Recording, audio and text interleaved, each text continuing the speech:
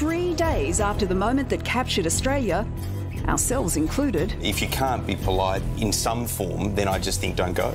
But why should she have to be silenced and quiet? Why can't she go and make a statement in her behaviour about how she feels about what's happened over the past year?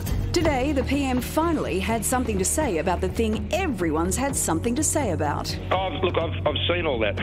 When anyone comes to our home, when Jenny and I we invite someone to our home, we, we greet them with a smile, and they're always welcome. I haven't raised any issues about this.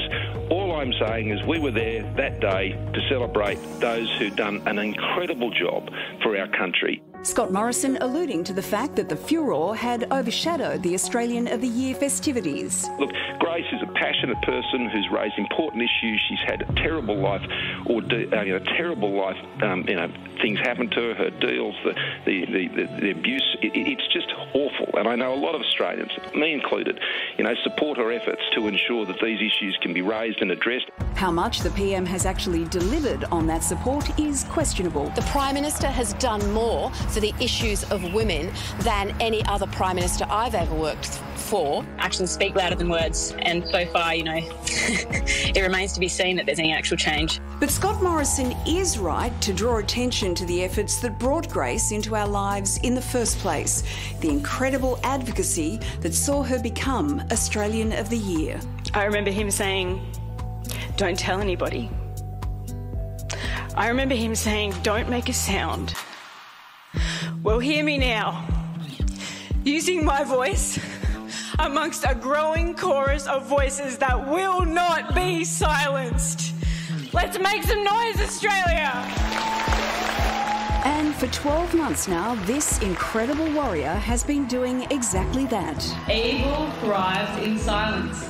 Behaviour unspoken, behaviour ignored, is behaviour endorsed.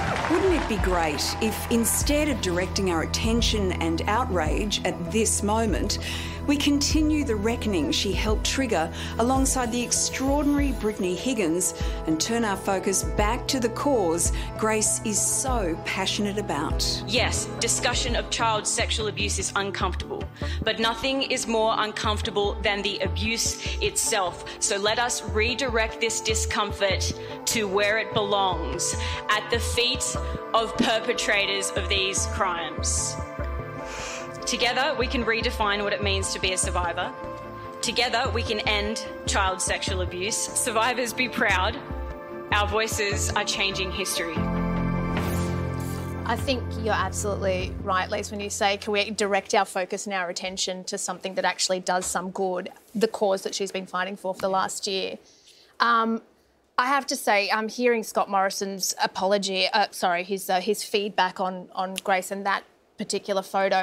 And I'm trying to be gracious as possible here, but to me, it, it really did sound like something that we've expected from Scott Morrison, which is a sort of a dog whistle to his base and a complete dereliction of any kind of accountability. And then, furthermore, saying to her uh, or saying to the public, you know, oh, well, she's been through a lot, she's had a hard time, she's, you know, it, it sounded very infantilizing to me. Um, and sometimes it's difficult to move on and it's difficult to refocus without getting that moment of accountability from someone.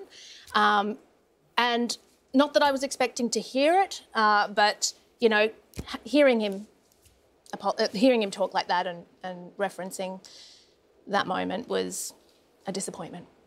Well, Grace is dedicating her life, which she was doing before she became Australian of the Year, dedicating her life to making a difference when it comes to survivors of sexual assault being heard and for real action to happen from those who are in a position to make that change happen. So she will continue doing that work and all power to her.